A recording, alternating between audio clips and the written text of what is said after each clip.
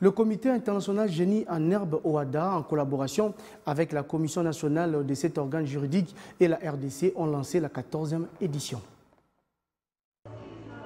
Cet aigle juridique international donne de l'envol à ses aiglons, cette fois-ci sur le sol congolais, pays qui assure la présidence de l'OADA. C'est la ministre de la Justice et garde-sceau, Rose Mutombo Kesse, en sa qualité de présidente du Conseil des ministres des pays membres de l'OADA, qui a ouvert ce 9 octobre 2023 la 14e édition du concours international Génie en herbe OADA à Kinshasa sous le thème Climat des affaires et défis d'intégration économique au sein de l'espace OADA 30 ans après. Cette cérémonie est placée sous le prestigieux parrainage du président de la République, chef de l'État et président en exercice de la conférence de chefs d'État et de gouvernement de l'OADA, Félix Antoine Tshisekedi.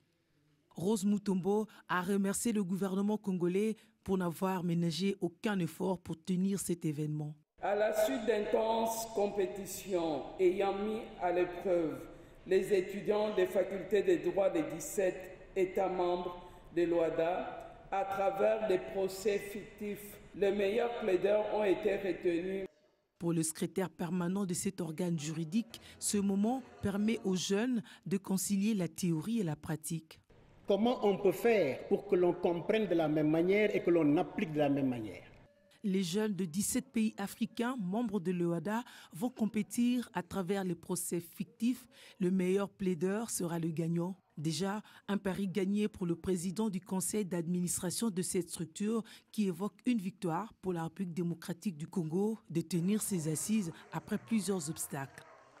Je voudrais tout simplement, en très peu de mots, vous exprimer toute la satisfaction et la joie de la Commission nationale OADA de vous voir tous réunis ici en cette euh, circonstance. Il y aura des phases éliminatoires au cours desquelles les équipes vont s'affronter mardi et mercredi et des phases éliminatoires. Quatre équipes seront retenues pour les éliminatoires de demi-finale jeudi. Les deux meilleurs s'affronteront en finale le samedi. Cette édition est particulière en termes de nombre des participants et des pays participants. Il y a des pays qui n'ont jamais participé à ces concours qui entrent en danse, l'Union de Comores et la RCA. C'est pour la première fois qu'une édition est patronnée par un chef de l'État. Et enfin, une édition qui coïncide avec le 30e anniversaire de l'OADA sous la présidence de la République démocratique du Congo.